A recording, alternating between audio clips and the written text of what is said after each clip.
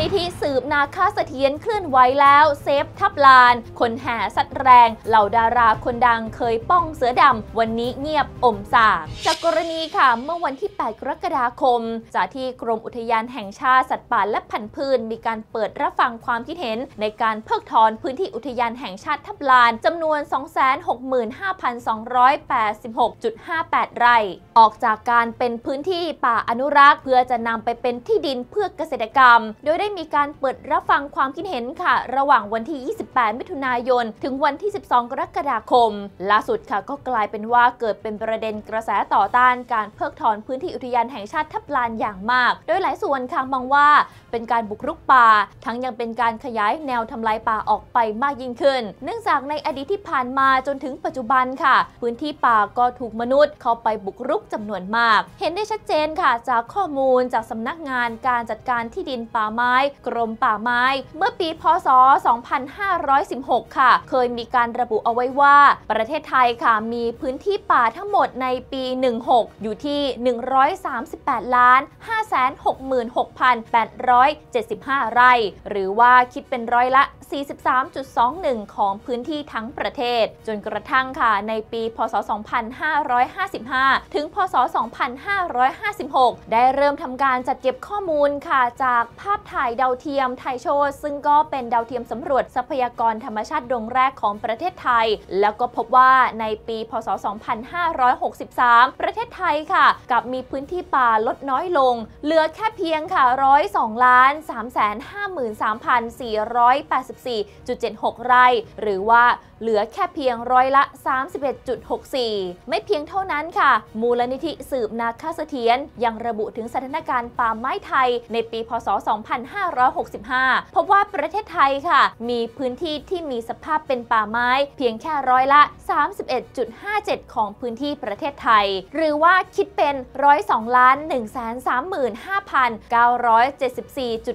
135,974.96 ไร่ ซึ่งก็ลดลงค่ะจากปี 2564 ประมาณร้อยละ0.02 หรือว่าคิดเป็น 76,459.41 ไร่ และเมื่อนำจำนวนพื้นที่ป่าค่ะ ในปี พศ 2563 นำมาลบค่ะกับจำนวนพื้นที่ป่าในปี พศ 2565 พบว่าแค่เพียง 3 ปีค่ะ พื้นที่ป่าของไทยก็หายไปถึง 217,509.8 ไร่เลยทีเดียว ซึ่งล่าสุดค่ะเกี่ยวกับประเด็นของทับลาน มูลนิธิสืบนาคาเสถียรค่ะก็ได้มีการออกมาเขียนจดหมายเปิดผนึกระบุว่า ความในใจของคนทำงานต่อการเพิกถอนพื้นที่ป่าอนุรักษ์กว่า 265,000 ไร่ ปัญหาการมีรัษฎรอยู่ในพื้นที่ป่าอนุรักษ์ หรือพื้นที่ป่าสงวนแห่งชาติมีมาเนิ่นนาน แต่ไม่ได้รับการแก้ไขปัญหาอย่างทันท่วงที ณ เวลานั้นโดยหน่วยงานราชการที่เกี่ยวข้อง เช่น หน่วยงานที่นำพารัษฎรมาอยู่ โดยอ้างถึงความมั่นคงของประเทศเพราะเป็นการแก้ไขปัญหาผู้ก่อการร้ายคอมมิวนิสต์ หรือว่าพอกค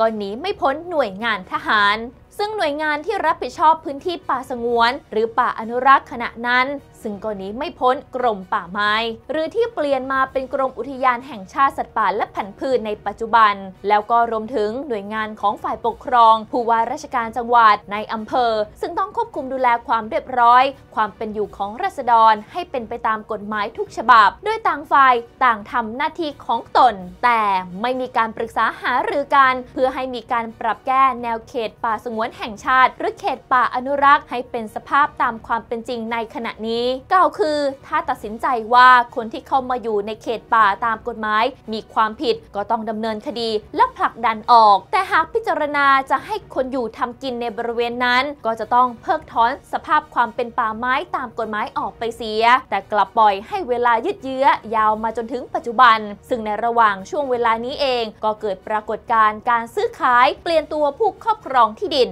โดยส่วนใหญ่คนที่มาถือครองแทนเป็นคนที่มีฐานะ มีความรู้ แต่ก็ยังใช้ความละโมบโลภมาก เข้ามายึดถือครอบครองแทนคนที่อยู่ดั้งเดิม จนเป็นที่ประจักษ์ของคนส่วนรวมทั้งประเทศและต่างประเทศ ความเห็นของผู้เขียนในฐานะที่เป็นคนไทย อยู่ภายใต้รัฐธรรมนูญ และกฎหมายของคนส่วนรวมทั้งประเทศ ไม่เห็นด้วยที่จะยกที่ดินป่าอนุรักษ์ ไปให้สปกดูแล เพราะเป็นช่องทางที่นายทุนจะใช้เป็นกระบวนการญในการครอบครองที่ดินของคนทั้งประเทศได้แน่นอนในอนาคต พร้อมกับมีการเชิญชวนค่ะ ให้ประชาชนมาร่วมเซฟทับลาน โดยได้มีการเปิดช่องทางออนไลน์ ให้ประชาชนค่ะ เข้าไปร่วมลงชื่อแสดงความคิดเห็น และการมีส่วนร่วมของผู้มีส่วนได้ส่วนเสีย ชุมชนที่เกี่ยวข้องและประชาชน ในการกำหนดพื้นที่ให้เป็นอุทยานแห่งชาติทับลาน จังหวัดปราจีนบุรี จังหวัดนครราชสีมา และจังหวัดสระแก้ว ในการปรับปรุงแนวเขตอุทยานแห่งชาติทับลาน จากการสำรวจแนวเขตเมื่อปีพศ 2543 ตามมติคณะรัฐมนตรีเมื่อวันที่ 14 มีนาคม พศ